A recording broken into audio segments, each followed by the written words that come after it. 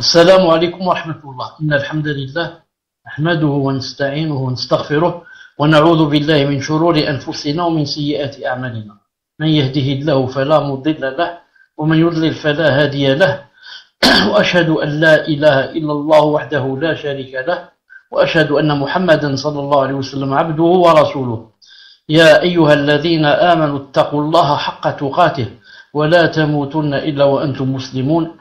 يا أيها الناس اتقوا ربكم الذي خلقكم من نفس واحدة وخلق منها زوجها وبث منهما رجالا كثيرا ونساء. واتقوا الله الذي تساءلون به والأرحام. إن الله كان عليكم رقيبا. يا أيها الذين آمنوا اتقوا الله وقولوا قولا سديدا. يصلح لكم أعمالكم ويغفر لكم ذنوبكم. ومن يطع الله ورسوله فقد فاز فوزا عظيما. ألا إن أصدق الكلام كلام الله.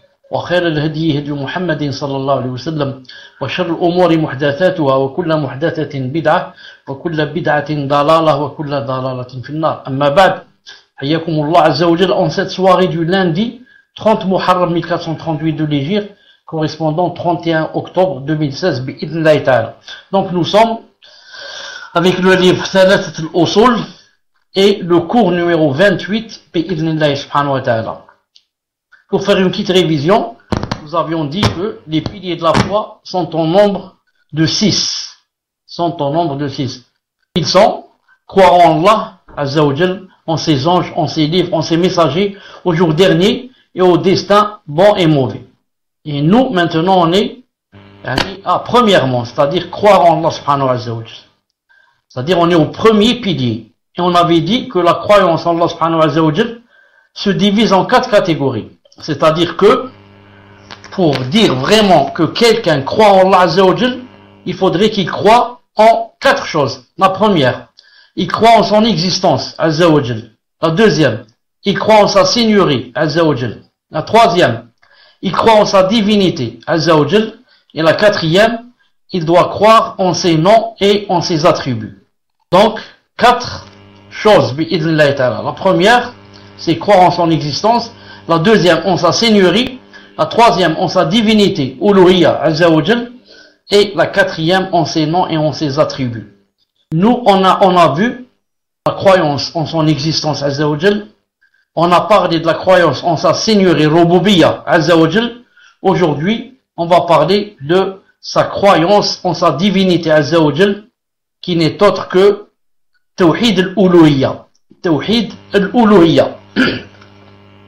طيب Cheikh bin Uthaymin rahimahullah ta'ala dit Tawhid al-Uluhiyya, c'est-à-dire croire qu'il est Azzawajal la seule véritable divinité sans associé.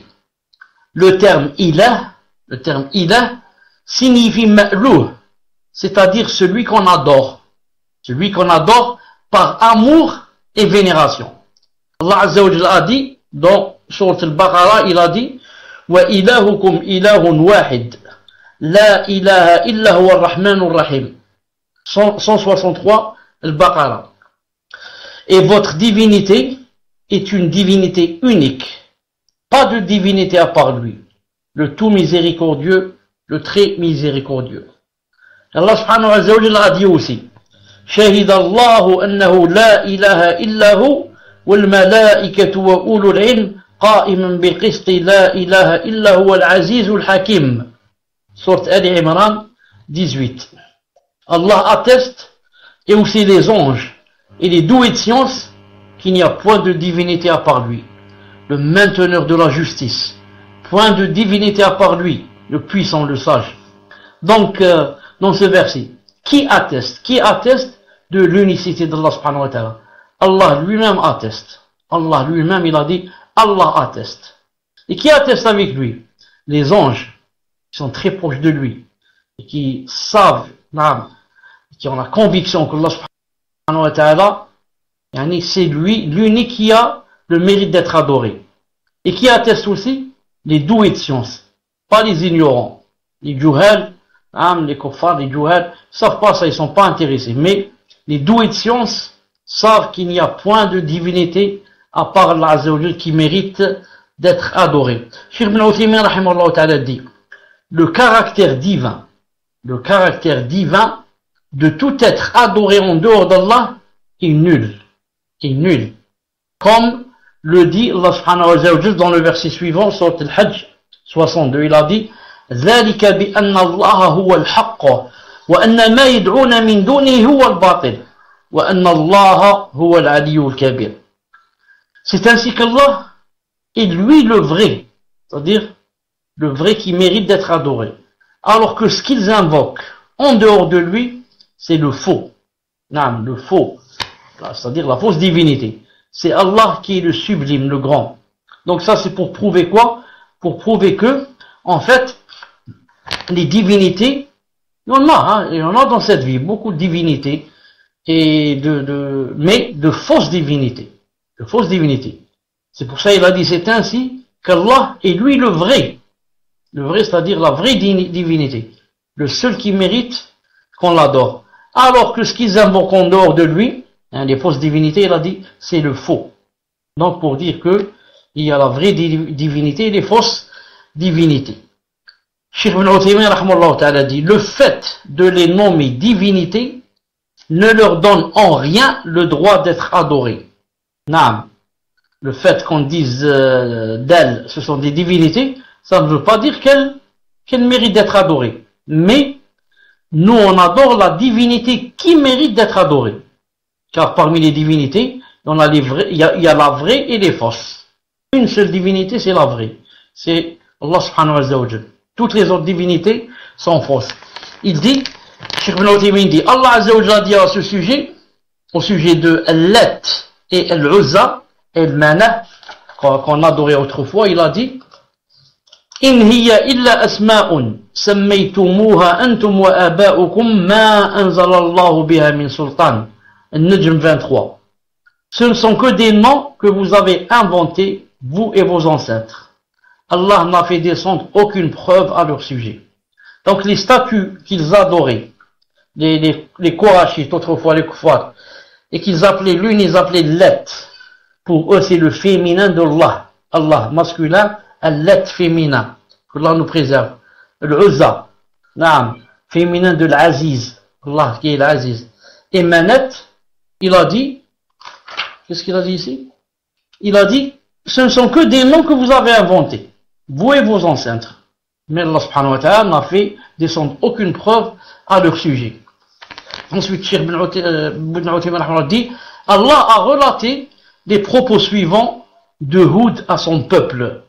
Lorsqu'il a dit, sur Al-Araf, أتجادلونني في أسماء سميتموها أنتم وآباؤكم ما أنزل الله بها من سلطان Araf 71 Allez-vous vous disputer avec moi et faire la polémique au sujet de noms que vous et vos ancêtres avez donnés, avez inventés, sans que Allah n'y fasse descendre la moindre preuve.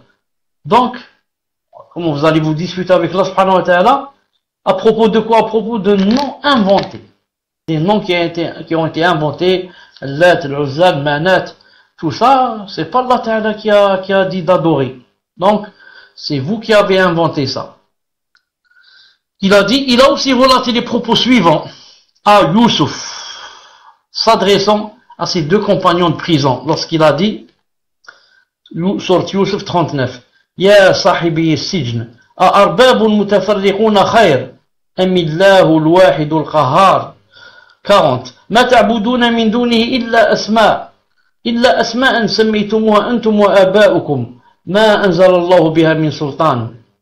أو مي دو كومبانيون دو بريزون كي لو ميور دي سينيور كي لو ميور كي لو ميور دي سينيور عفوا كي لو ميور دي سينيور إيباربيي والله الله l'unique, le dominateur suprême.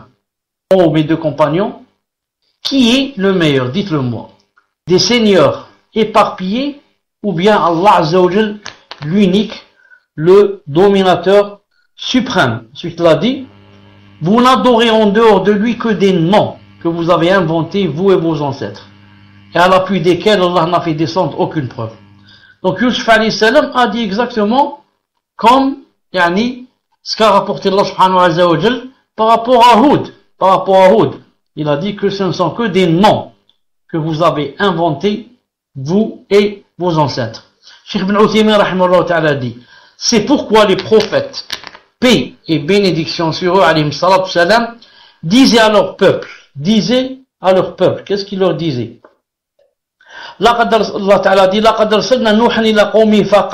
il a dit, يا قوم اعبدوا الله ما لكم من إله غيره إني أخاف عليكم عذاب يوم عظيم L'Araf 59 que disaient, que disaient les, les, les prophètes à leur peuple adorez Allah pour vous pas d'autre divinité que lui je crains pour vous le châtiment d'un jour terrible donc ils sont tous venus pour dire à leur peuple adorez Allah ils ne sont pas venus yani, pour montrer à leur peuple yani, qu'il y a un Dieu et que c'est lui qui donne les enfants, c'est lui qui fait tomber la pluie. Ils sont pas venus pour le Tawhid Rububiya. Tawhid Rububiya, j'ai dit, on a dit, même les kofars savent que Dieu existe. Mais ils sont venus pour montrer Tawhid le Tawhid de la divinité. C'est-à-dire qu'on doit adorer Allah subhanahu wa ta'ala, qu'on doit l'adorer. Il a dit, cependant, les polythéistes ont refusé de répondre à cet appel et ont pris d'autres divinités qu'ils adorent, ils adorent en dehors d'Allah et auxquelles ils demandent soutien et secours. Or, Allah a invalidé le fait que les polythéistes s'orientent vers d'autres divinités au moyen de deux preuves rationnelles. Je répète, Allah a invalidé le fait que les kuffars, les polythéistes, s'orientent vers d'autres divinités. Il a invalidé cela au moyen de deux preuves rationnelles. Premièrement, ces déités et ces divinités adoptées n'ont aucune des caractéristiques de la divinité. En effet, elles ont été créées et n'ont rien créé. Elles n'apportent aucun bénéfice à leurs adorateurs et ne repoussent d'eux aucun mal. Elles ne peuvent leur donner la vie ni la leur ôter. Elles ne possèdent rien des cieux et ne sont pas associés à Allah en cela. Donc, pourquoi qu'ils adorent des choses qui ne peuvent ramener ni bien ni repousser un mal? Quelle est la grande preuve qu'ils ne, ne peuvent même pas, par exemple, repousser un mal? Regardez, par exemple, euh, quelqu'un qui adore la statue. S'il y a un chien qui va venir et il va uriner sur la statue, la statue ne peut pas repousser ce mal. C'est un mal. C'est mal d'uriner sur, euh, sur, euh, sur une statue. Donc la statue, elle si c'était une divinité, elle n'aurait pas accepté qu'un chien, par exemple, vienne uriner sur elle. Non. Et elle ne peut rien faire. Et Ibrahim salam, lorsqu'il a cassé les statues, il les a cassées avec le, comment ça s'appelle, avec, euh, c'est pas la pelle, euh, la pioche, je crois avec la pioche. Il a cassé la pioche, Est-ce qu'elles ont pu faire quelque chose? Mieux que cela, quand il a accusé la grande statue, il a mis sur elle la pioche, il a dit, demandez à cette statue, demandez-lui si c'est c'est pas elle qui a cassé toutes les statues, elle n'a pas pu se, défendre. Elle n'a pas pu se défendre. C'est pour ça, Cheikh Ibn dit ici, il a dit, elle ne possède rien des cieux Ils ne sont pas associés à Allah en cela. Allah Ta'ala a dit, Allah Ta'ala a dit, sur le Furqan, واتخذوا من دونه آلهة لا يخلقون شيئا وهم يخلقون ولا يملكون لأنفسهم ضرا ولا نفعا ولا يملكون موتا ولا حياة ولا نشورا mais ils ont adopté en dehors de lui des divinités qui, étant elles-mêmes créées, ne créent rien et qui ne possèdent pas yani, la faculté de faire ni le mal ni le bien pour elles-mêmes et qui ne sont maîtresses ni de la mort, ni de la vie, ni de la résurrection. Donc ces divinités ne peuvent même pas se faire du bien à elles-mêmes, ni même repousser yani le mal qui leur arrive. Allah Ta'ala dit aussi, Allah Ta'ala dit aussi, قل ادعوا الذين زعمتم من دون الله لا يملكون مثقال ذرة سبأ 22 قل ادعوا الذين زعمتم من دون الله لا يملكون مثقال ذرة في السماوات ولا في الأرض وما لهم فيهما من شرك وما لهم منهم من ظاهر ولا تنفع الشفاعة عنده إلا لمن أذن له 22-23 Saba Dis, dis le roi Mohammed, invoquez ceux qu'en dehors d'Allah vous prétendez être des divinités, ils ne possèdent même pas le poids d'un atome, ni dans les cieux ni sur la terre. Ils n'ont jamais été associés à leur création, et il n'a personne, il n'y a personne parmi eux pour le soutenir. Pour le soutenir. Donc, ces, ces divinités que vous adorez, Allah Ta'ala veut leur dire, ils ne possèdent même pas un atome, ni dans les cieux, ni dans la terre. Eh, bon, dans les cieux, c'est clair qu'ils n'ont aucune relation avec ce qui se passe dans le ciel. C'est Allah Ta'ala qui régit tout. Il dit, même ici, même ici, sur la terre, ils n'ont pas. Non. Ici, sur la terre, non, ils n'ont aucun pouvoir, subhanahu wa ta'ala. Ensuite, il leur dit aussi, il leur dit, ah, j'ai pas terminé, ensuite, il a dit, l'intercession auprès de lui ne, profite qu'à celui en faveur duquel il l'a permis. Ensuite, Allah Ta'ala a dit aussi, l'Araf 191, أيشركون ما لا يخلق شيئا وهم يخلقون 192 ولا يستطيعون لهم نصرا ولا أنفسهم ينصرون Est-ce que est-ce qu'ils assignent est-ce qu'ils assignent comme associés ceux qui ne créent rien et qui eux-mêmes sont créés Comment? Allah Ta'ala veut dire, vous prenez comme associés non ceux qui ne créent rien et qui eux-mêmes ont été créés. Non. Ensuite, il a dit, et ceux qui ne peuvent ni les secourir, ni se secourir eux-mêmes. Yani, Allah Ta'ala les blâme. Si tu prends quelqu'un comme associé, cet associé doit pouvoir t'aider. Mais euh, le problème ici, il ne peut même pas s'aider lui-même, cet associé que vous prenez lui-même, s'il lui arrive du mal, il ne peut pas le repousser. Alors comment espérez-vous qu'il repousse un mal s'il vous atteint? C'est pas possible.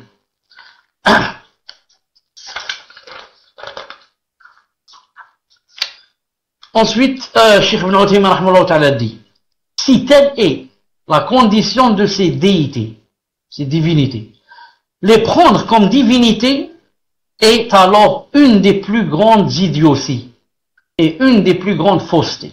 Tout ça, c'était premièrement.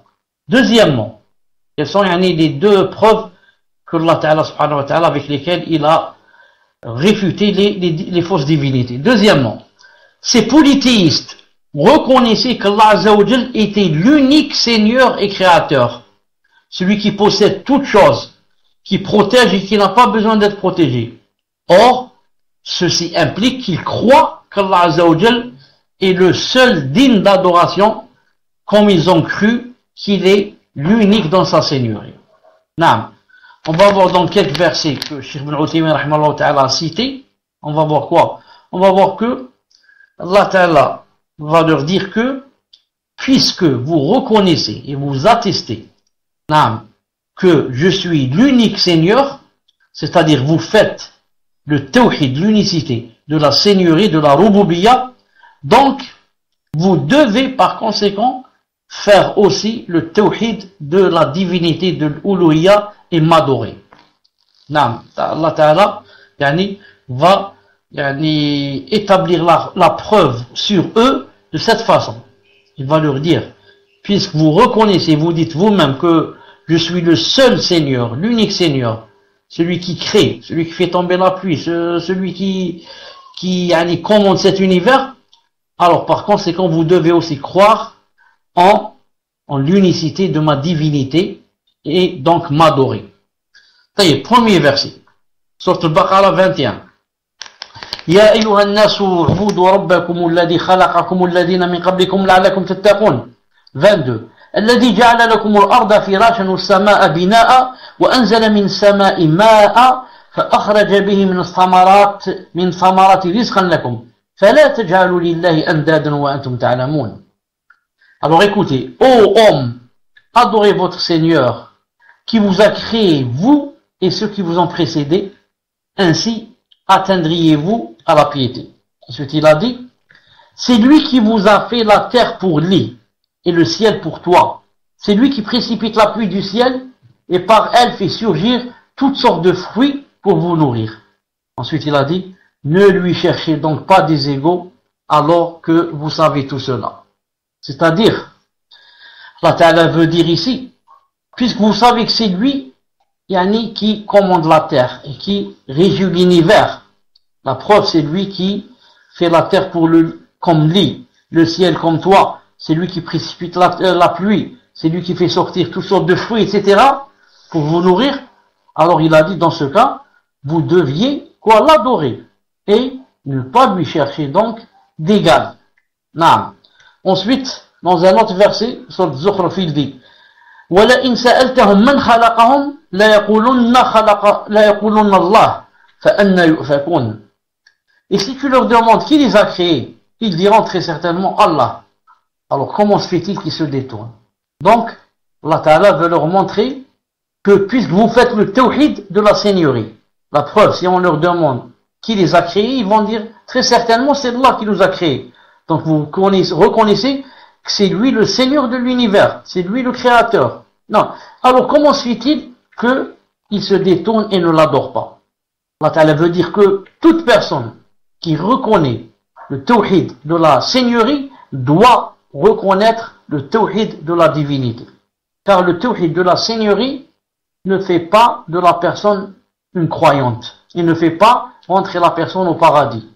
Donc, Allah Ta'ala veut dire, ça ne sert à rien que tu dises que Allah Ta'ala existe, que Allah Ta'ala fait tomber la pluie, que Allah Ta'ala donne la nourriture, que Allah Ta'ala, si tu ne l'adores pas. Si tu ne l'adores pas. C'est ce que veut dire Allah subhanahu azza Ensuite, dans un autre verset, sur Yunus 31, il dit, قل من يرزقكم من السماء والأرض؟ أم من يملك السمع والأبصار؟ ومن يخرج الحي من الميت ويخرج الميت من الحي؟ ومن يدبر الأمر فسيقولون الله. فقل أفلا تتقون؟ فذلكم الله ربكم الحق فماذا بعد الحق إلا الضلال فأنا تصرفون Dis, qui vous attribue de la nourriture du ciel et de la terre? Qui détient lui et la vue? Et qui fait sortir le vivant du mort et fait sortir le mort du vivant? Et qui administre tout Ils vont dire Allah. Dis alors, ne le craignez donc vous pas? Ne le craignez-vous donc pas? Donc, vous reconnaissez que c'est Allah subhanahu wa ta'ala qui attribue la, nourriture du ciel et de la terre. C'est lui qui détient votre vie et la vue. C'est lui qui fait sortir le vivant du mort et le mort du vivant. C'est lui qui régit tout, administre tout. Ils vont dire oui, c'est vrai, c'est lui, c'est Allah. Alors Allah Ta'ala va les blâmer. Donc, pourquoi vous ne le craignez pas? Craignez pas, en ce sens que, pourquoi alors vous ne l'adorez pas alors que vous reconnaissez tout cela? Ensuite, il a dit, tel est Allah votre Seigneur. Au-delà de la vérité, qui y a-t-il donc sinon égarement Au-delà de la vérité, qui y a-t-il donc sinon égarement Comment alors pouvez-vous vous détourner? Non. Vous reconnaissez tout ça. Donc, vous connaissez la vérité. Et maintenant, à part la vérité, qu'est-ce qu'il reste? Il reste l'égarement. Puisque vous, vous ne, suivez, vous ne suivez pas la vérité, donc vous êtes en train de suivre l'égarement. Donc tout cela, c'était quoi? C'était croire en la seigneurie d'Allah subhanahu wa ta'ala. Maintenant, on va passer la quatrième chose qui rentre dans croire en Allah c'est quoi? C'est croire en ses noms et en ses attributs. Donc, pour que quelqu'un dise, je crois vraiment en Allah subhanahu wa ta'ala, il faut qu'il croit en quatre choses. Qu'il existe. Deux, en sa rouboubiya, sa seigneurie. Trois, en sa divinité, sa uluhiya. Et quatre, en ses noms et en ses attributs. S'il manque un des quatre, la personne n'est pas une vraie croyante. Non, la personne n'est pas un vrai croyant. N'est pas un croyant. Il manque quelque chose dans sa croyance. Euh, donc, la première, c'était quoi? C'était croire en sa seigneurie, que c'est Allah Ta'ala qui est le Seigneur qui régit cet univers. Deux, croire en sa divinité, c'est-à-dire qu'il mérite, et il est le seul qui mérite d'être adoré. Ça, c'est deuxièmement. Troisièmement, croire, euh, hein, troisièmement, non, premièrement, croire en son existence, deuxièmement, en sa seigneurie, troisièmement, que c'est lui qui mérite d'être adoré, ça, Uluhiyya, et quatrièmement, croire en ses noms et en ses attributs. Qu'est-ce que ça veut dire croire en ses noms et en ses attributs? C'est-à-dire, c'est-à-dire, affirmer les noms et les attributs que Allah a affirmés pour sa propre entité. Dans son livre ou dans la sunna de son prophète sallallahu alayhi wa sallam, de la manière qui lui sied, sans en faire dévier le sens, c'est-à-dire tahrif, ni nier le sens, c'est-à-dire ta'til, ou chercher à en connaître le comment, c'est-à-dire tekif, ou bien assimiler ses attributs à ceux de ses créatures, c'est-à-dire temthil, qu'on appelle aussi tishbih. Donc, pour que quelqu'un dise, moi je crois en nom, en les noms de Allah subhanahu wa ta'ala, en ses attributs, il faudrait ces quatre choses ici citées. C'est-à-dire qu'il doit croire en ses noms, en ses attributs, de la manière qui lui convient à Allah Azza sans dévier le sens, sans nier le sens, sans chercher à, connaître le comment et sans ressembler ses attributs à ceux de ses créatures. Quatre choses. Je répète, les noms et les attributs, je ne, je ne dois pas dévier leur sens, tahrif, ni les nier. Je te dis Allah Ta'ala deux mains, tu dis non, il n'a pas de main. Nier, ta'til. Ni chercher à, comment, à connaître le comment. Tu dis d'accord, j'atteste que Allah Ta'ala a deux mains. Mais comment sont-elles? Je voudrais savoir comment qu'elles sont. Ça, c'est quelque chose d'interdit. C'est le troisième interdit. Quatrième, assimiler ses attributs à ceux de ses créatures. Dire, d'accord, Allah par exemple, rit, mais il rit comme nous. Il descend du ciel chaque nuit, il descend comme nous on descend. moi, je descends de la voiture, je descends de l'ascenseur, je descends, non, il descend comme nous. Donc, quatre choses qui sont interdites dans les noms et dans les attributs. On a vu ça, comme vous devez le savoir, plusieurs fois par Yani, euh, dans les cours passés, et ça reviendra, Inch'Allah Ta'ala. Car ça a besoin de quoi Ça a besoin d'être répété pour que ça s'ancre dans le cœur. Et, peut-être qu'il y a aussi des nouveaux qui n'ont pas assisté, donc euh, pour qu'ils apprennent ça. Allah Ta'ala dit dans le Coran, on va voir pas pour les noms et les attributs, il a dit dans le Coran, Al-A'raf 180, وَلِلَّهِ الْأَسْمَاءُ الْحُسْنَى فَادْعُوهُ بِهَا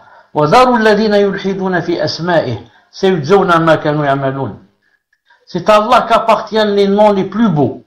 Invoquez-le par ses noms et laissez ceux qui profanent ses noms, ils seront rétribués pour ce qu'ils ont fait. C'est à Allah qu'appartiennent les noms les plus beaux. Invoquez-le, par ses noms et laissez ceux qui profanent ses noms, ils seront rétribués par ce qu'ils ont fait. Non. Il a dit aussi, Rome 27, وله المثل الأعلى في السماوات والأرض وهو العزيز الحكيم.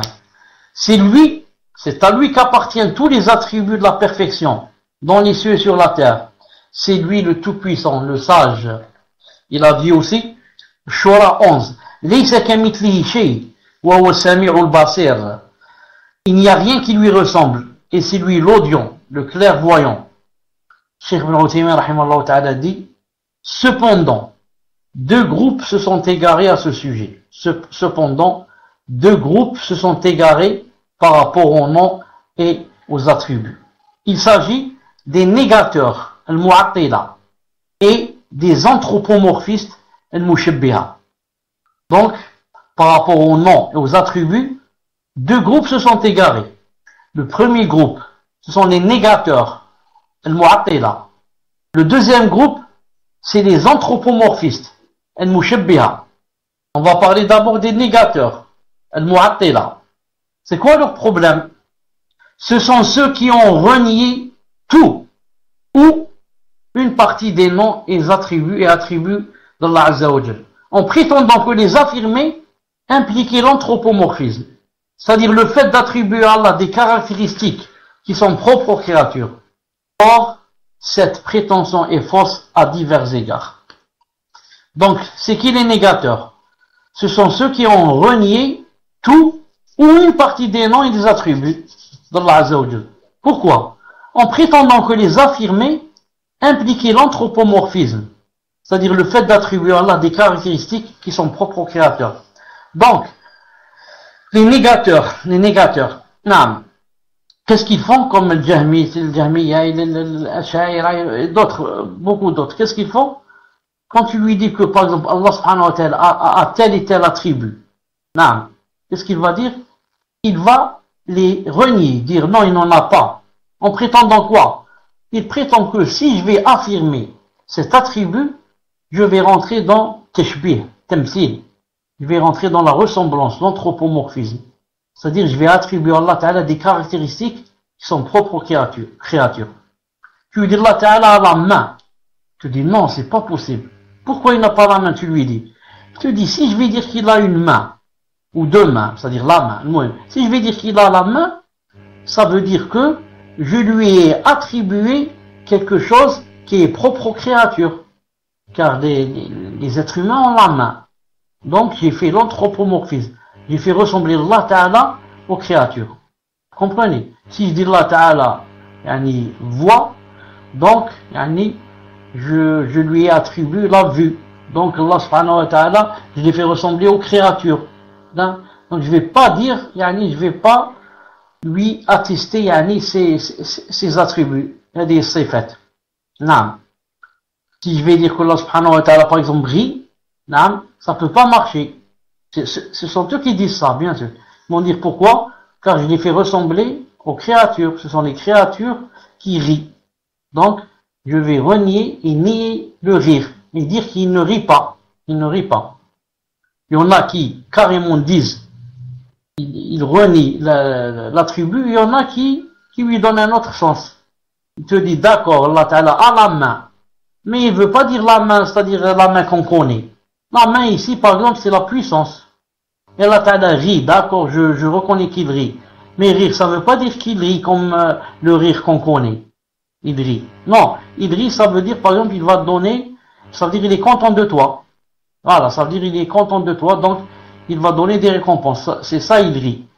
Alors que tout ça, bien sûr, est faux. En parlant des négateurs, or cette prétention est fausse à divers égards. C'est quoi cette prétention? De dire que je ne dois pas attester les attributs d'Allah subhanahu par peur et par crainte que je fasse ressembler Allah, je fasse ressembler Allah aux créatures. On dit ça c'est faux pour diverses choses. Premièrement, premièrement, ceci impliquerait des conséquences aberrantes. Ceci va impliquer des conséquences aberrantes si je vais renier les attributs, comme l'existence de contradictions dans les paroles d'Allah Azzawajal. En effet, Allah Azzawajal a affirmé pour sa propre personne des noms et des attributs tout en niant sa ressemblance avec autre chose. Or, si le fait d'affirmer les noms et attributs d'Allah impliquait l'anthropomorphisme, cela impliquerait aussi l'existence de contradictions dans la parole d'Allah et une dénégation réciproque à ses, à ses propos. Vous avez compris? Allah subhanahu wa ta'ala lui-même dans le Coran et son prophète dans la Sunna a attesté pour lui des noms et des attributs. Bien sûr, tout en niant sa ressemblance avec autre chose. Donc comment se fait-il que tu viens toi et que tu dises que Allah Ta'ala n'a pas tel et tel attribut, de peur que si je dise qu'il a tel attribut, je les fais ressembler à qui? Aux créatures. Donc ça, ça peut pas marcher. Car Allah Je donne un exemple. Si maintenant, je vais dire dans le hadith authentique que Allah subhanahu wa ta'ala a deux mains, et que je vais dire, je vais dire Allah ta'ala a deux mains qui lui conviennent, qui lui conviennent. Je ne dis pas deux mains comme mes mains. Deux mains qui conviennent à Allah subhanahu wa ta'ala. Maintenant, si Yom al-Qiyamah, Allah subhanahu wa ta'ala va me dire, pourquoi tu as dit que j'avais dit deux mains? Je vais dire, ya Allah subhanahu wa ta'ala, j'ai lu ça dans le Coran. Ou bien j'ai entendu, ou j'ai lu le prophète, le hadith du prophète sallallahu alayhi wa sallam, qui dit qu'Allah ta'ala a deux mains. Donc, tu vois que tu as une excuse. Mais maintenant, si c'est le contraire, tu vas dire qu'Allah Ta'ala n'a pas de main. Allah Ta'ala n'a pas de main. Yom al il va te dire pourquoi tu as dit que j'avais pas de main, alors que dans le Coran j'ai dit que j'avais deux mains, et le hadith que a dit que j'avais deux mains. Tu ne vas pas pouvoir répondre. Tu ne vas pas pouvoir répondre. Il va te dire, Azzawajal, tu te connais, tu me connais mieux que je me connais moi tu me connais mieux que me connaît mon prophète Mohammed et donc tu ne vas pas trouver de réponse. Deuxièmement, ça c'est premièrement, Ibn dit, deuxièmement, ceci impliquerait des conséquences. Le fait que deux choses aient le même nom ou le même qualificatif n'implique en aucun cas qu'elles se ressemblent. Ainsi, on peut voir deux personnes qui se rejoignent sur le fait qu'elles sont toutes deux des êtres humains doués d'ouïe, de vue et de parole. Or, ceci n'implique pas que leurs conditions humaines, euh, humaines, leur ouïe, leur vue et leur parole soient identiques. De même, les animaux ont des mains, des pieds et des yeux. Mais le fait que l'on utilise les mêmes termes pour désigner leurs membres n'implique pas que ces membres sont identiques. Donc, si une différence apparaît entre les créatures, dont les noms et attributs sont désignés par les mêmes termes, la différence entre le créateur et la créature est encore plus claire et plus grande. Alaykoum salam wa barakatuh. Donc, euh, Cheikh dans le deuxième euh, c'est quoi? Le fait, nam, que, yani, le fait, il a dit que deux choses et le même nom ou le même qualificatif n'impliquent en aucun cas qu'elles se ressemblent. Quand je dis moi que j'ai par exemple une main et que je dis que par exemple euh, la fourmi a la main, a aussi une main, est-ce que yani, moi et la fourmi on se ressemble? Quand je dis que yani, par exemple euh, yani, mille choses, je dis que moi je vois et le singe aussi voit. Est-ce que moi je ressemble au singe? Je ressemble au singe. Même la façon de voir n'est pas la même. Par exemple, moi, je vois, le chien voit. On voit pas de la même façon, on n'a pas les mêmes yeux, même la vision. Moi, je vois, par exemple, lui, il voit plus loin que moi. Moi, je vois les couleurs, lui, il ne voit pas les couleurs. Seulement quelles couleurs? Moi, je vois seulement le jour, lui, il voit le jour et la nuit. Comme ça. Donc, le fait que deux choses aient le même nom, ça ne veut pas dire qu'elles se ressemblent en toutes choses. Quand je parle du couffin, je dis que le couffin a deux mains. Est-ce que quelqu'un va imaginer que ce sont deux mains avec des doigts et des ongles? C'est pas possible. Et des phalanges. Pourtant, le couffin a deux mains. Quand je dis la tête, la tête, bon, mais la tête de quoi? Il faut d'abord savoir. La tête de l'aiguille. La tête, euh, le sommet de la montagne. La tête de, on dit, cette personne c'est la tête de ce groupe. C'est-à-dire le chef, le voyou. Et comme ça. Donc, ça, le nom, c'est le même, mais le sens diffère. Mais le comment, plutôt le comment diffère. diffère. Non. Cheikh a dit donc ça, c'est par rapport à quoi? Par rapport au premier groupe, les négateurs, qui disent on ne doit pas tester les noms et les attributs, surtout les attributs, parce qu'on fait ressembler Allah à ses créatures. Cheikh Ibn a donné deux dalils, Inch'Allah ta'ala, qui, qui vont tomber par terre, yani, toute personne qui, qui veut polémiquer. Ensuite, il va passer, deuxièmement, aux anthropomorphistes. Al-Mushabbiha. Al-Mushabbiha. Ceux qui font ressembler Allah subhanahu wa ta'ala créatures, ou bien le contraire.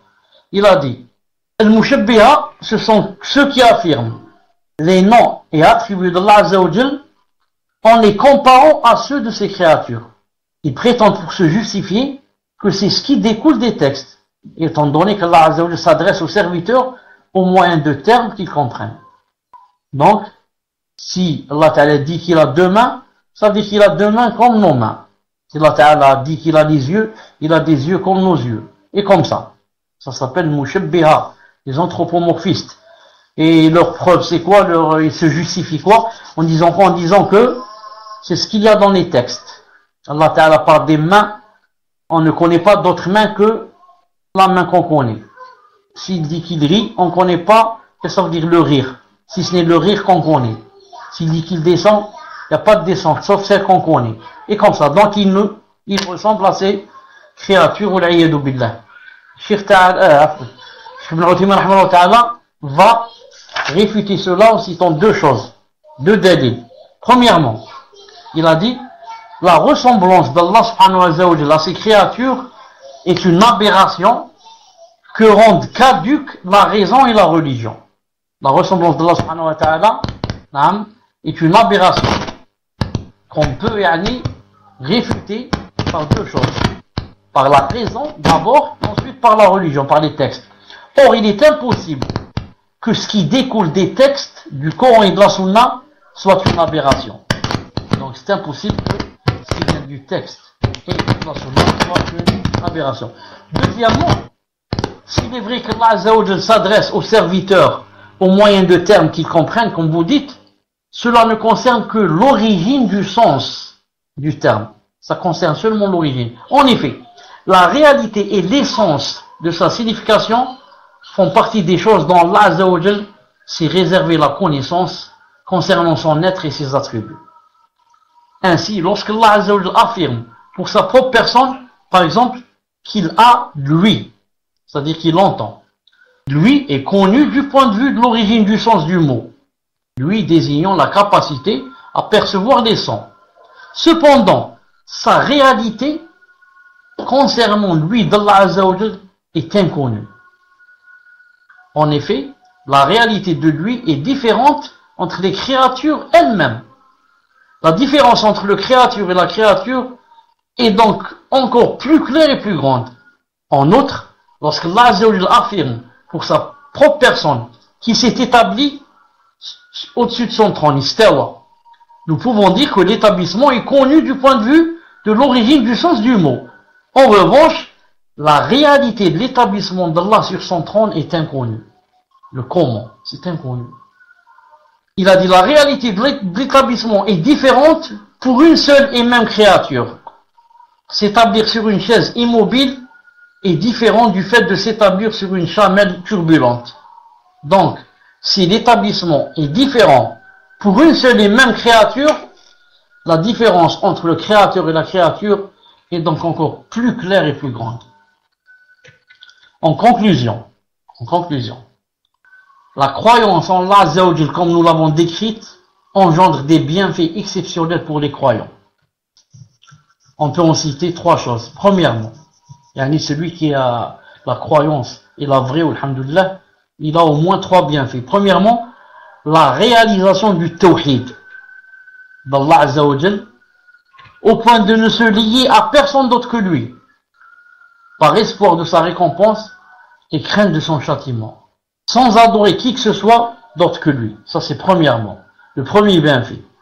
La réalisation du tawhid d'Allah Azzawajal, qu'est-ce qu'elle donne Au point de ne se lier à personne d'autre que lui, par espoir de sa récompense et par crainte de son châtiment, sans adorer qui que ce soit en dehors de lui. Celui qui a le vrai tawhid, alhamdulillah, il n'a plus besoin des, personnes. Non.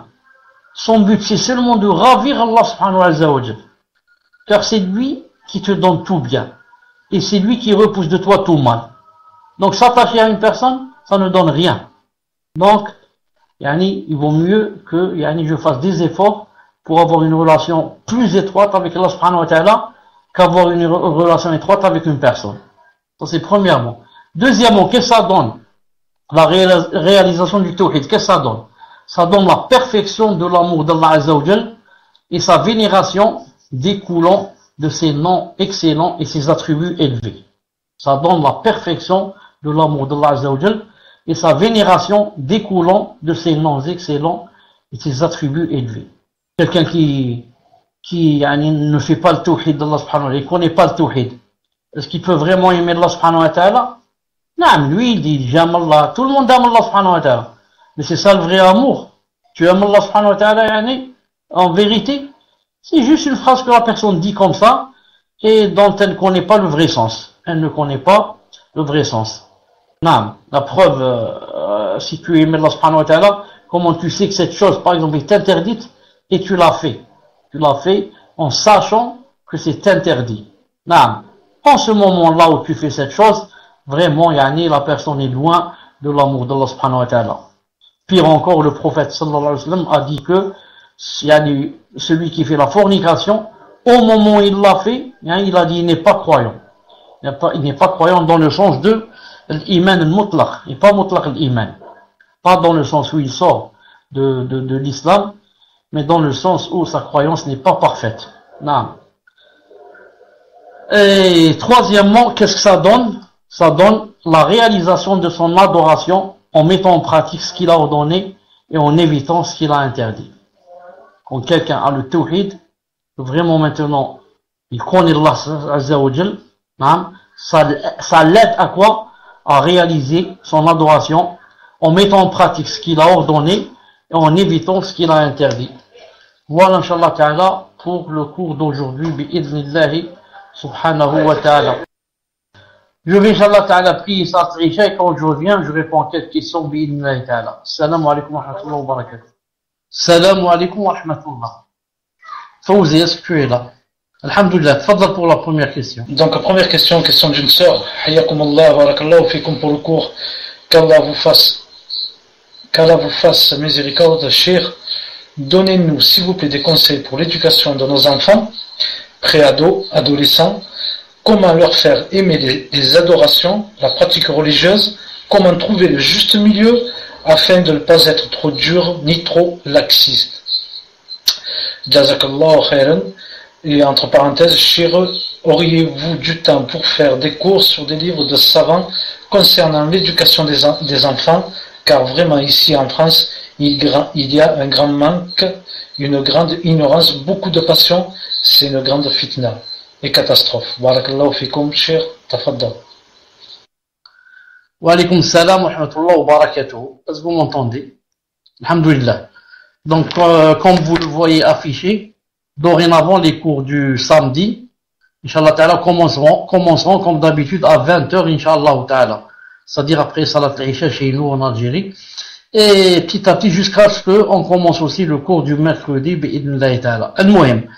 Euh, tout cela parce que يعني الاقتراح الاقتراح c'est-à-dire euh, comment on dit الاقتراح en français c'est-à-dire euh, euh, la proposition vient de, de vous certains d'entre vous m'ont proposé que 18h30 c'était très tôt et que ce serait mieux de, de faire le cours après le Salat al-Isha donc Inch'Allah Ta'ala le cours sera après Salat al-Isha bi'idnillahi ta'ala ensuite autre chose euh, par rapport euh, non.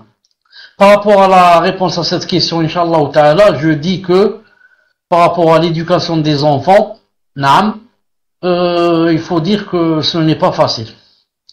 Une responsabilité vraiment lourde, que ce soit dans un pays d'islam ou un pays de, de, mécréance. Même s'il faut dire la vérité que dans un pays de, de, de coffre, c'est beaucoup plus difficile. C'est beaucoup plus difficile, vu que Vu que quoi? Vu que l'école n'aide pas. Et que l'école est contre. Et contre ce qui est digne, ce qui est religion, ce qui est, etc.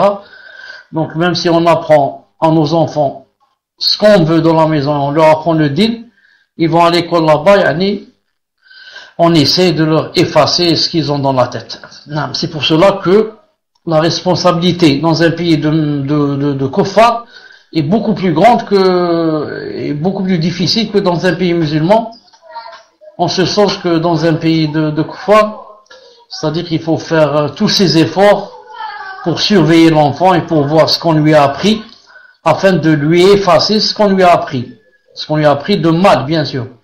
Et de lui dire que cette chose ça se fait pas et ces gens-là ne, ne sont pas des croyants ce- ce- ces gens-là yani, ne, ne, ne craignent pas Allah subhanahu ta'ala et comme ça c'est pour ça ils vous apprennent ces choses euh, ça. Mais la vérité c'est ceci et cela. Et yani, on leur inculque inshallah ta'ala la vraie arida et la vraie charia maintenant pour dire aussi que dans la question c'est écrit une seconde. Euh, pourriez-vous avoir des cours concernant hein? je ne sais pas s'il y a des livres. Je ne sais pas s'il y a des livres. Naam, concernant l'éducation des enfants, spécialement dans l'éduca- l'éducation des enfants. Il y a des petites euh, risalettes, des épîtres comme ça de 10, 15 pages, peut-être 20 pages, naam. mais pour dire que il y en a, il y en a un Fawzan, je ne le connais pas. S'il y en a quelqu'un de Cheikh Fawzan, et surtout s'il l'a en français, qu'il me l'envoie. Si vous connaissez des livres d'éducation des enfants, naam, des livres de Al-Sunnah ou Jama'a, des, des Ikhwan Mouflisson, de Sunna ou Jama'a, qui parlent sur l'apprentissage des enfants, vous me l'envoyez, Inch'Allah. Moi, ce que j'ai lu par rapport aux savants, Sheikh Ibn Uthaymin et les autres, ils disent, yani l'enfant, Naam, j'ai lu, j'ai vu celui de Sheikh Firkous, euh, Hafidahullah Ta'ala, mais je ne l'ai pas. Ce qu'il faut savoir, euh, j'ai dit que les savants disent que yani, l'enfant, on doit toujours lui, lui montrer quels sont les buts, pourquoi on existe, euh, qu'il y a Allah subhanahu wa ta'ala, ta'ala, c'est lui qui a créé les cieux, la terre, quand on lui montre le soleil, on lui dit regarde le soleil, c'est Allah subhanahu wa ta'ala qui l'a créé, et Allah subhanahu wa ta'ala nous a demandé de de de, comment dirais de l'adorer, de l'adorer. Et on, doit remercier Allah subhanahu wa ta'ala pour tout ce qu'il nous, donne. Et on lui parle de la aqidah que demain, on va rencontrer Allah ta'ala, etc. En mettant, entre parenthèses, que l'enfant, bien sûr, toujours, posera des questions qui, pour nous, paraissent, yani, bêtes, ou bien des questions, yani, qui, qui, n'ont pas de réponse, mais que on doit toujours répondre, même si c'est d'une manière yani, évasive. On doit toujours répondre et dire que, par exemple, il y a certaines questions que yani, Allah subhanahu wa ta'ala a laissé comme ça, par exemple, que pour qu'on connaisse ça le jour de la résurrection. Non, il va dire comment qu'il est, yani, sa taille, ceci, c'est ce qu'il a de grands yeux, est-ce qu'il a ceci, cela, non, tout ça, il faut toujours parler avec des règles que Allah Ta'ala je t'ai dit plusieurs fois que Allah Ta'ala ne ressemble à aucune de ses créatures. Et aucune de ses créatures ne ressemble à Allah. Je t'ai dit plusieurs fois que personne n'a vu Allah jusqu'à aujourd'hui. Ni les anges, ni les, ni les messagers. Donc, comment nous, on a pu le voir? Et si on n'a pas pu le voir, comment vais-je te dire comment qu'il est exactement? On le verra yom al-qiyamah. Les croyants, quand ils seront au paradis, ils verront Allah subhanahu wa ta'ala. Ne pose pas de questions en ce sens, car il n'y a pas de réponse. Non. Maintenant, comment qu'il est décrit le nous ici, il est comme il s'est décrit dans le Coran et dans la Sunna. Non. On lui cite yani, quelques attributs qu'on connaît, les noms qu'on connaît, et yani, on essaye yani, de lui apprendre ce qu'on peut, et ce qu'on qu'on peut, Ensuite, là, je profite pour dire une chose, il ne faut pas être très, comment dirais très sévère, très sévère avec les enfants, et essayer de tout leur apprendre, et essayer qu'ils pratiquent tout, jusqu'à ce qu'ils détestent ceci, et veulent s'en éloigner. Il y a beaucoup, beaucoup d'enfants, beaucoup. On ne peut pas les compter. Dites, euh, écrivez numéro 1 si vous m'entendez. Il y a beaucoup d'enfants, comme j'ai dit. On ne peut pas compter leur nombre qui ne prie, qui ne prie que pour, que pour faire plaisir aux parents. En d'autres termes, qui ne prie même pas avec les ablutions. Mais ils savent qu'on n'a pas le délit que ce qu'il a fait les ablutions, il n'a pas fait. On va dire j'ai fait les ablutions, je les ai pas perdues depuis par exemple Salat alors que, peut-être il est sans les ablutions. Beaucoup d'enfants font ça. Non. Donc il faut pas être très sévère avec les enfants. C'est pour ça que, par exemple, comme dit Cheikh par exemple, si on prend un enfant pour Omra et Hajj, etc. Non. Il a dit, s'il n'a pas maintenant, il n'est pas pubère, ce qu'il fait maintenant, ce n'est pas obligé qu'il le fasse. Ça, le Hajj n'est pas obligé pour lui. La Omra n'est pas obligé pour lui avant la puberté. Donc si on le prend avec nous, Cheikh Ben dit, s'il fait des choses bien, il fait tawaf, il fait ceci, cela, on, on lui dit, Masha'Allah, etc. Et s'il dit j'ai oublié ou j'ai pas fait ça, c'est pas la peine de lui dire va refaire, va refaire. Pourquoi? Déjà c'est pas une chose obligatoire. Ce qu'il faut, il y a euh, la chose à laquelle il faut donner beaucoup d'importance, c'est lui apprendre la salat. La salat à l'heure. Insister, il pour qu'il prie et qu'il prie à l'heure. Les deux à la fois. Non on commence à l'habituer. De temps en temps, il rate une prière, de temps en temps, il peut pas se réveiller, de temps en temps. Tout ça, on ferme plus ou moins les yeux. À partir de 10 ans, on devient plus sévère. Quand l'enfant a 10 ans, 10 ans, il est assez âgé. Il connaît bien le mal et le mal, le bien et le mal. Il, connaît très, il sait très bien que année, il faut prier à l'heure et comme ça. Non, ça ne fait rien de temps en temps donc de le gronder, de temps en temps de le punir mais pas être sévère au point de lui faire détester la religion. Inch'Allah ta'ala, dès que j'aurai le livre euh, sur la façon de d'éduquer les enfants, on le lira ensemble, bi'idlillah subhanahu wa ta'ala. Fadlal. Barakallahu fikum, cher. Prochaine question, question numéro 2, question d'une sœur. Qu'Allah vous préserve, cher. Alhamdulillah, par la grâce d'Allah, mes filles ont bien compris qu'Allah nous voyait où que l'on soit, alors que nous ne le voyons pas. Qu'Allah nous entend et entend même les pas d'une fourmi dans le noir. Mais il y a une question qui revient souvent. Qui est, mais qui a créé Allah? Alhamdulillah, nous de la créer au mieux, mais elles ont du mal à comprendre qu'Allah n'a pas de début ni de fin. Si vous pouvez me donner un conseil pour bien leur faire comprendre, barakallahu fikum. Tfadal ya. Donc maintenant, on vient de m'envoyer un lien sur euh, un livre. Euh, je demande à Contact euh, Sœur si elle peut afficher le lien, si elle peut mettre le lien sur euh, l'affiche. Donc il y a un livre de Fawzan, Cheikh Fawzan, hafidallahu ta'ala, qui est en français et qui se vend aussi. Qui se vend en année. Inch'Allah ta'ala, si j'arrive à voir ce livre, on va le lire, Inch'Allah ta'ala, ensemble. Donc je vais vous le lire et vous l'expliquer aussi, bi'idnillahi subhanahu wa ta'ala. طيب hmm. euh, Fawzi, si c'est possible, Inch'Allah ta'ala, de, re- de relire la question, car j'étais en train de, je suis en train de voir le lien. Tfaddal. Naam, cher. Je relis la question, question numéro 2, question d'une sœur. Alhamdulillah, par la grâce d'Allah, mes filles ont bien compris qu'Allah nous voyait où que l'on soit, alors que nous ne le voyons pas. Qu'Allah nous entend et entend même les pas d'une fourmi dans noir. Mais il y a une question qui revient souvent. Qui est? Mais qui a créé Allah? Alhamdulillah, nous essayons de leur expliquer. Alhamdulillah, nous essayons de leur expliquer au mieux, mais elles ont du mal à comprendre qu'Allah n'a pas de début ni de fin. Si vous pouvez me donner un conseil pour bien leur faire comprendre, barakallahu fikum. Tafaddal ya. Justement, on essaie de leur expliquer que c'est ça la différence entre un croyant et un kafir.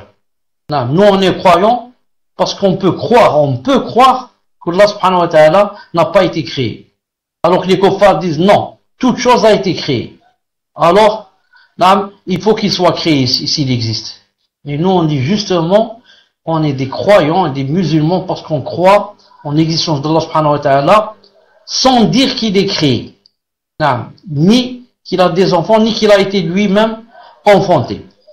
Et, je dis là entre parenthèses, plus les enfants vont grandir et mûrir, plus ils vont comprendre cette chose, Inch'Allah ta'ala, de, de par leur, leur prédisposition naturelle, de par la fête Allah déjà dans leur cœur, dès qu'ils vont un peu grandir, avoir euh, 10 ans, 12 ans, 13 ans, 14 ans, ils vont comprendre, comprendre cette chose.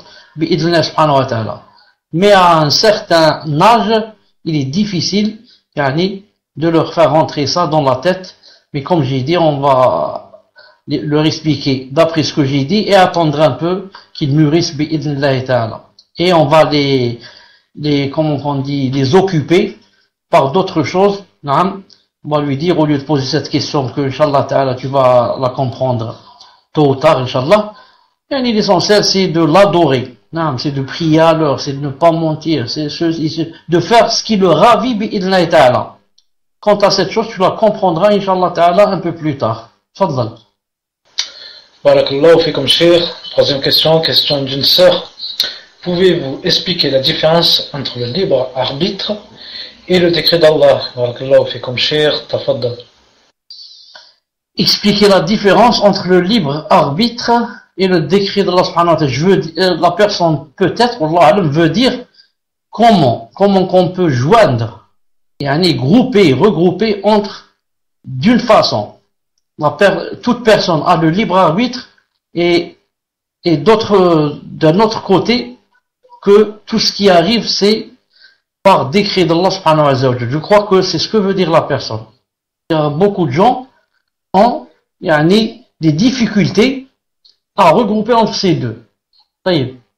Vous savez que, voilà, vous savez que il n'y a pas une chose qui puisse avoir lieu dans ce monde sans que, cette chose n'ait précédé dans la science d'Allah subhanahu wa ta'ala. Et que cette chose qui a précédé dans la science d'Allah subhanahu wa ta'ala, de ce qui va arriver, qu'elle existe aussi, elle est écrite sur la tablette préservée, de al-Mahfoud, la tablette préservée. C'est pour ça qu'un sunna ou jama'a ont une règle, ils disent « Ma sha'allahu wa ma lam yasha lam yakun » Ce que veut Allah ta'ala qu'il a lieu, existe, et ce qui ne veut pas, il n'existe pas. Donc, n'existe dans ce monde, dans cet univers, que ce que veut Allah Ta'ala. En mettant bien dans la tête que ce que veut Allah subhanahu wa ta'ala ne veut pas dire ce qu'il aime, mais ce qu'il veut. Car la volonté, il y a la volonté universelle et la volonté juridique. La volonté universelle, c'est ce que Allah Ta'ala veut, même s'il n'aime pas. Et la volonté juridique, c'est ce que Allah Ta'ala veut dans le sens de il aime. C'est pour cela que la différence entre la volonté universelle et la volonté juridique, c'est que Allah veut des choses qu'il n'aime pas. Et qu'il aime des choses qu'il ne veut pas, qui n'existent pas. On va donner un exemple. Allah veut des choses qu'il n'aime pas. Oui, il a voulu l'existence d'Iblis. Mais Allah n'aime pas Iblis. Il a voulu que telle personne soit poignardée. Mais il n'aime pas qu'une personne poignarde, une autre. Il va, il va, il va, il va l'entrer en enfer si elle fait pas le repentir. Mais pourtant, c'est lui qui a voulu cette chose. Mais il ne l'aime pas. Il Comme il a voulu la création de l'Iblis, mais il ne l'aime pas. Par contre, Allah aime des choses qu'il ne veut pas. C'est-à-dire qu'ils ne se sont pas produites. Allah aime, par exemple, qu'Iblis, par exemple, soit un croyant. Mais Allah n'a pas voulu cela, il a aimé seulement ça. Allah Ta'ala aime que tous les kuffars deviennent des croyants. Allah aime que tous les croyants soient des, des pieux. Ce sont des choses que Allah aime. Mais il ne les a pas voulu. Car s'il avait voulu ça, universellement, ça aurait eu lieu. Elles auraient existé. On revient donc à notre question ici. Toute chose qui arrive dans ce monde et Allah Ta'ala sait qu'elle devait arriver et a été écrite sur la tablette préservée 50 000 ans avant de créer les cieux et la terre. Mais Allah subhanahu wa ta'ala ne nous a pas forcé à faire ce qu'on fait. Allah ne nous force pas à faire ce qu'on fait. Allah subhanahu wa ta'ala, comme il a dit dans le Coran, et on l'a guidé vers deux chemins. Les deux chemins le chemin du bien, le chemin du mal. Allah Ta'ala te les a montrés les deux. Et t'a donné une disposition à les suivre. Tu veux suivre le chemin du bien. Masha'Allah, il t'aide. Tu veux aussi suivre le chemin du mal. C'est ta faute donc, c'est toi qui le veux. Et il laisse les chayatines t'embellir la chose et te pousser à la faire. Donc c'est toi qui as choisi. Allah Ta'ala t'a bien dit, regarde, à ta droite, il y a une mosquée. À ta gauche là-bas, il y a, y a un, un bar. Un bar. Si tu vas à droite vers la mosquée, je te donnerai des récompenses. Et je serai ravi de toi, je te fais rentrer au paradis. Si tu vas vers la gauche, vers le côté du bar, je serai en colère contre toi et je te rentre en enfer si tu ne fais pas le, le, repentir et si, si, je te pardonne pas. Ensuite, toi, c'est ça le libre arbitre, tu choisis. Tu fais ce que tu veux toi. Si tu choisis d'aller vers la mosquée, Allah va t'aider, il sera ravi de toi. Tu veux aller vers euh, la vers le bar, alors c'est ta faute. C'est pour cela que si c'était nous, si c'était, si c'était pas nous qui choisissons, si c'était pas nous qui choisissons, c'est-à-dire il n'y a pas le libre arbitre, qu'est-ce qui va se passer? Il va se passer que Yom al-Qiyamah, quand Allah Ta'ala va te dire, je vais j'ai décidé de te faire entrer en enfer, tu vas dire pourquoi Allah? Il te dira parce que tu as fait telle et telle et telle chose qui sont pas bien. Tu vas dire Allah subhanahu wa ta'ala, c'était écrit contre moi. Tout ça, je n'avais pas le libre arbitre. Donc pourquoi Allah ta'ala vous allez me punir pour une chose que c'est pas moi qui ai faite en vérité? C'est une chose qui a été écrite dans la tablette préservée et dont je ne pouvais ne pas la faire. Donc là, astaghfirullah, Astaghfirullah, astaghfirullah trois fois, ça veut dire que tu as, tu as donc établi la preuve sur Allah. C'est pas possible. Personne ne peut établir la preuve sur Allah. Mais puisque Allah Ta'ala va te blâmer, te dire pourquoi tu as fait cette mauvaise chose, pourquoi tu as bu l'alcool, pourquoi tu as volé, pourquoi tu as fait la fornication, Ça veut dire quoi? Ça veut dire que tu pouvais ne pas la faire.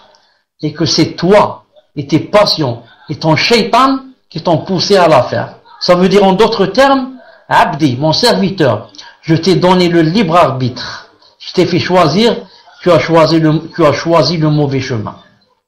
Si quelqu'un va dire, oui, mais ça, le fait que hier je sois allé dans un bar et j'ai bu de l'alcool.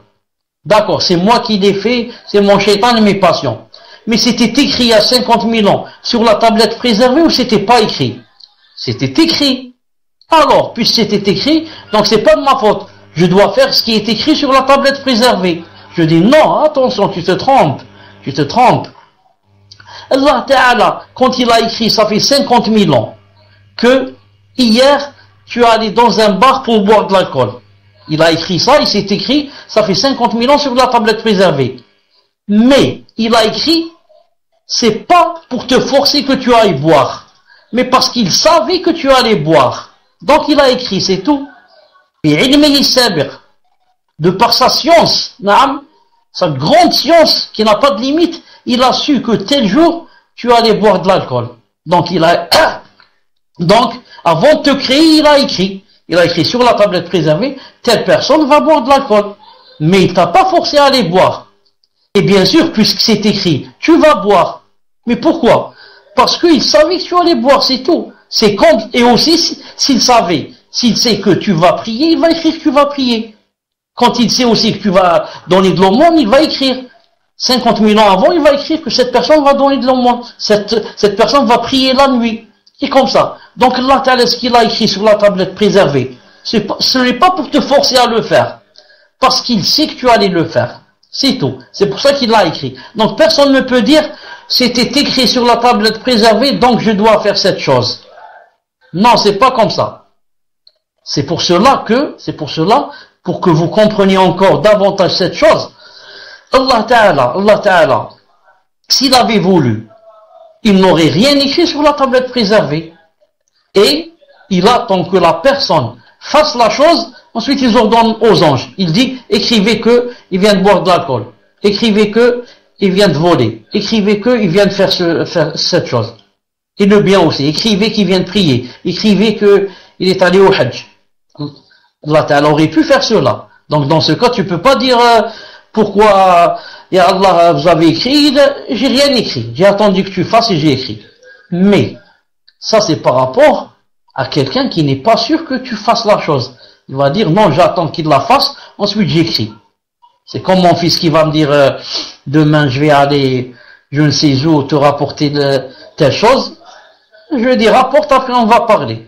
Car d'ici demain, il va changer d'avis, ou bien il va tomber malade, ou bien il va mourir, il ne va pas la faire. Mais Allah Ta'ala, non. Il a écrit d'avance parce qu'il sait pertinemment bien que ça va se passer. Allah Ta'ala sait dans des millions d'années qui va, des milliards d'années qui va arriver à la seconde. Donc il a su que telle personne allait boire de l'alcool, faire la fornication, voler, faire ceci, cela, donc il a écrit d'avance. Et tout ce qu'il a écrit doit se reproduire en réalité, on doit le faire. Pas dans le sens où il nous, a obligés à le faire, mais dans le sens où hein, il a su qu'on allait le faire et il a écrit d'avance, c'est tout. Voilà, la réponse. Et comme c'est très important, c'est dans l'aqidah et c'est dans le qada ou le qadar, je voudrais demander à cette personne qui a posé la question, il faut aussi demande-lui si elle a compris ou bien je répète car c'est très important et je suis prêt à répéter deux ou trois fois, Inch'Allah Ta'ala. J'attends la réponse. Non, cher, donc euh, que la personne me contacte, si elle a bien compris ou pas. Et le temps que je ne sais pas si on passe à la prochaine question, le temps qu'elle me réponde, ou bien vous attendez. Taïb, ok, Inch'Allah. Taïb, on peut gagner du temps en répondant à une autre question, le temps que, Inch'Allah, la personne euh, donne son avis. Cher, euh, en fait, la personne, son pseudo est bloqué. Je n'arrive plus à la contacter, comme elle est ressortie du salon et est rentrée. Donc, je demande à la personne de me débloquer pour m'envoyer le message. Inch'Allah. Et ensuite, on passe à la quatrième question, question d'une quel est le jugement Quel est le jugement d'apprendre les 99 noms d'Allah Azzawajal en se basant seulement sur l'explication donnée dans les livres de grands savants? Et, euh, et pour la sœur, alhamdoulilah, c'est beaucoup plus clair pour elle, elle dit. Je viens juste de recevoir la réponse. Euh, vous m'entendez, Inch'Allah? Alhamdulillah. Par rapport aux 99 noms d'Allah Azza wa Jal, il faudrait savoir une chose, c'est que il n'y a pas, yani, comment dirais-je, il n'y a pas euh, yani, un accord total entre les savants que yani, les 90 sont tel, tel, tel, tel, tel et tel nom. Vous allez prendre les 99 noms d'Allah Azza wa Jal chez Sheikh bin Utaymin, et les 99 chez Zama, peut-être Ibn Taymiyyah ou Ibn Qayyim ou là, le Sheikh Fawzan, vous allez trouver que, par exemple, celui-là, il dit de tel nom, c'est un nom, et l'autre, il dit non, ça, c'est pas un nom. Comme par exemple, le Nord, le Nord. On va trouver un savant qui va dire, le Nord, c'est un nom d'Allah. On va trouver un autre savant qui va dire non, le Nord, c'est pas un nom. C'est une, c'est un attribut. At-Tabib, comme a dit le prophète islam, il a dit Inna Allah huwa tabib. Il a dit Oh tabib huwa Allah. Le docteur c'est Allah subhanahu wa ta'ala. Donc euh, tabib, certains vont dire que c'est un, un, des noms d'Allah ta'ala, et d'autres par exemple comme Sheikh Firkous Allah, il va dire non, c'est un attribut, c'est pas un nom. Et comme ça, al Donc maintenant, supposons que il y ait un livre où yani les 99 noms, c'est sûr que c'est tel, tel, tel, tel et tel nom. Par exemple, je vais prendre un livre d'un grand savant, par exemple, je vais dire, c'est un grand savant, donc je, je trouve euh, mon cœur penché, penché à croire que donc les 99 noms qu'il a cités, ce sont ça, les 99 noms d'Allah subhanahu wa ta'ala. Parce que maintenant, j'ai les 99 noms. Maintenant, qu'est-ce que je dois faire pour avoir la récompense citée dans le hadith? Je dois d'abord yani, les connaître, ces noms. Ici, on les connaît, alhamdoulilah, Zama, Cheikh Ibn les a cités. Deuxièmement, connaître leur sens. Non, connaître leur sens. Troisièmement, je dois appliquer ce qu'il y a dans leur sens. Appliquer ce qu'il y a dans leur sens. Donc les connaître les apprendre, et ensuite les comprendre, et ensuite appliquer ce qu'il y a dans le, le, sens du nom. Je donne un exemple. Si maintenant, parmi les noms, se trouve par exemple Samir. Samir, ça veut dire l'audience, celui qui entend. Donc je dois apprendre que Allah Ta'ala est Samir. J'ai compris que Samir veut dire l'audience, l'audience, Maintenant, ce que je dois faire aussi, c'est euh, pratiquer. C'est aller à la pratique de ce qui découle de ce nom. Qu'est-ce qui découle de ce nom?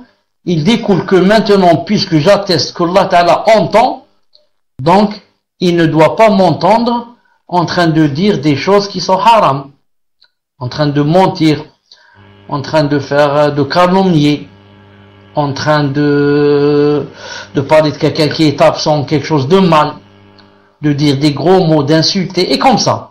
Parce que j'ai appris que Allah était l'audion. Ça, c'est un exemple.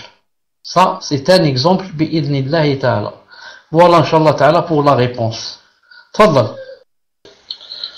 Barakallahu fikum. Donc, on passe à la dernière question, question numéro 5, question d'une sœur. Parfois, j'avais pas le mic. Donc, on passe à la dernière question, question numéro 5. Question d'une seule. Est-ce que les ablutions passent sur les cheveux huilés d'huile d'olive Y a-t-il des avis? Barakallahu fikum cher. Tafaddal. Oui, avant d'oublier par rapport aux 99 noms, par rapport aux 99 noms, euh, ça ne veut pas dire que le hadith qui a cité que Allah Ta'ala avait 99 noms, ça ne veut pas dire que Allah Ta'ala n'en a que 99 mais il en a beaucoup plus. Comme dans le hadith, euh, Allahumma inni abdukum abdi, jusqu'à ce qu'il ait dit à la fin, il a dit, أسألك بكل اسم هو لك سميت به نفسك أو استأثرت به في علم الغيب عندك. Donc Allah Ta'ala a des noms, a des noms qu'on ne connaît pas et qu'il a tenu secret chez lui et qu'il n'a, dont il n'a fait, yani il n'a, il n'a, il les a montrés à personne, ni, ni les, ne les a cités à personne. mais il a 99 qui, si la personne peut les connaître, ces 99, et les apprendre, et appliquer ce qui en découle, Inch'Allah la personne ira au paradis. Naam. Donc, euh, est-ce que les ablutions passent sur les cheveux huilés d'huile d'olive Y a-t-il des avis Avant d'oublier, Fouzi, euh, regarde la, la, quatrième personne, la troisième personne, une, deux, trois par en haut, qui s'appelle Athéis. Athéis. Est-ce qu'elle a posé sa question ou ne l'a pas, ne l'a pas, elle ne l'a pas encore posée, cette personne? Donc, est-ce que les ablutions passent sur les cheveux huilés d'huile d'olive? Y a-t-il des avis? Cheikh bin Uthaymin, ta'ala, a posé la question. Quand on met comme ça des crèmes sur la tête, est-ce que ça empêche l'eau de passer et donc il n'y a pas les ablutions ne sont pas valides ou bien c'est valide Il a dit ça, il y a en ce sens. Ça, ça revient à la personne elle-même. La personne elle-même sait que, c'est que, est-ce que cette chose qu'on a sur la tête, elle l'a c'est comme euh, une forme ou quelque chose comme ça de palpable qui empêche, qui empêche l'eau de toucher par exemple le corps ou de toucher les cheveux, ou bien c'est juste une crème ou quelque chose comme ça qui n'empêche pas, qui n'empêche pas. Donc maintenant il faut savoir, yani, quand on met quelque chose sur la tête, est-ce que la chose qu'on a mise, c'est quelque chose qu'on peut voir comme ça, de façon à ce qu'on sait que ça empêche l'eau de passer? Dans ce cas, les, les, les ne sont pas valides. Ou bien, yani, ça n'empêche pas. Et dans ce cas, les ablutions sont valides. J'essaierai, Inch'Allah Ta'ala, et rappelle-moi, Fouzi, Inch'Allah Ta'ala, dans le prochain cours, de chercher spécialement par rapport aux cheveux qui contiennent de, l'huile. Les cheveux qui contiennent spécialement de l'huile pas des crèmes et des pommades, etc. Est-ce que ça empêche? Je, ferai des recherches, Allah Ta'ala, pour le prochain cours. Taïb, qu'est-ce que tu dis par rapport à ce que je t'ai dit à troisième personne? tu as dit que... En fait, Cher, c'est pas une question ni sur le cours, ni... Euh... En fait, elle voulait savoir si vous aviez reçu... Euh, si vous avez reçu la question par mail au sujet d'une question par rapport au permis. Tafadal Yacher.